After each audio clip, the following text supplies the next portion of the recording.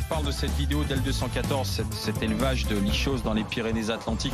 Encore une fois, je, je préviens ceux qui sont en train de regarder les, GG, les grandes gueules sur RMC Story, qu'on a les images de ces élevages pour ceux qui sont sensibles à la cause animale. Euh, bon, c'est c'est- c'est- c'est pas terrible, c'est le moins qu'on puisse dire, c'est même euh, abject, ignoble, inhumain de, de voir la manière dont, dont ces, ces- ces bêtes, ces canards étaient traités. Nous sommes avec euh, Marie-Pierre Pay, qui est la secrétaire générale du comité interprofessionnel des palmipèdes à foie gras. Bonjour Madame Pay, merci d'être avec nous. Bonjour. Est-ce que, vous remerciez L214 d'avoir montré ces images? Bah écoutez, je, moi je, je pousse un coup de gueule, effectivement, euh, contre ces images.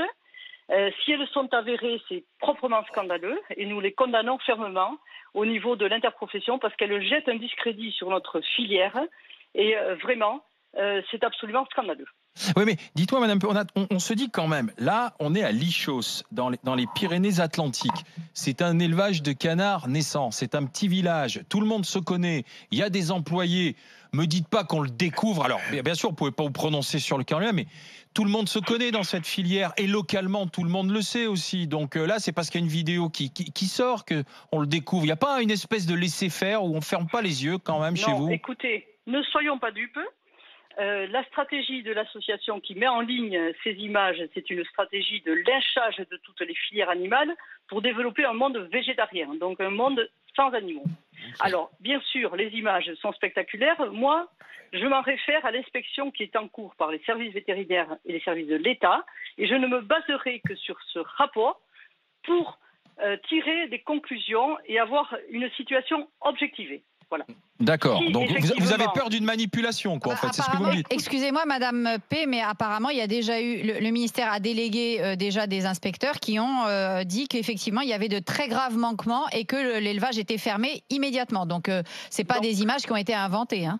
Non, non, vous me l'apprenez, vous me, vous m'apprenez la, la décision du, du ministère. Écoutez, si c'est tel est le cas, mais écoutez, c'est, nous nous porterons partie civile euh, s'il y a une action qui est menée euh, contre cet élevage, effectivement. Est-ce parce qu'il y a des contrôles nous suffisants ne pouvons pas accepter, écoutez, des contrôles. Nos entreprises, elles sont contrôlées en permanence. Ah bah la preuve que que non. ce soit Oh, pour les services vétérinaires. Ouais. Écoutez, il n'y a pas. Je pense que toutes les entreprises euh, reçoivent les services de l'État pour les services vétérinaires, pour le bien-être animal, pour la biosécurité, pour les fraudes, etc.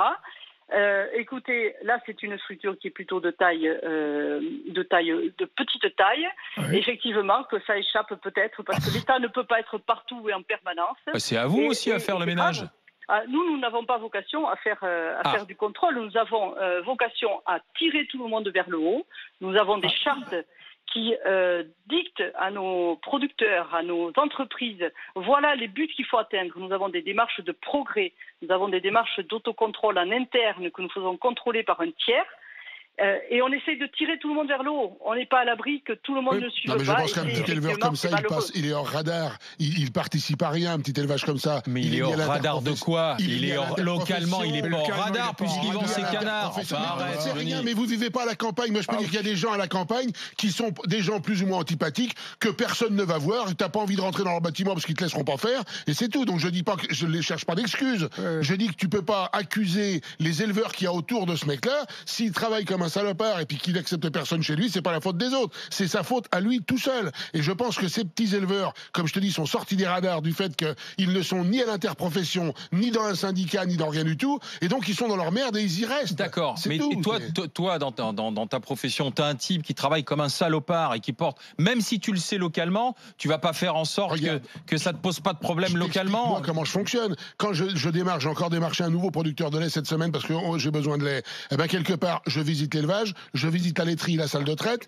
Si tout ce qui va pas, je dis, tant que tu n'auras pas modifié ça, on ne travaillera pas ensemble. On fait des analyses de lait. On, on fait en sorte que ce soit, on a une charte, quoi. On a un cahier des charges à respecter. On le fait. Et il n'y a pas de problème. Et les éleveurs, en général, ils- vont dans ce sens-là. Mais tu peux pas faire d'un cas exceptionnel une règle euh, dans la profession. C'est pas possible. on n'en fait, on en fait pas une Non, règle, on est toujours L200 étonné si tu veux. Quand... L214, tu sais, Mais comme, comme dit Oui. tu sais très bien la vocation qu'ils ont et le but de leur démarche. Donc, faut pas non plus, euh, voilà, ça existe, c'est vrai, c'est triste, et faut que ça ferme.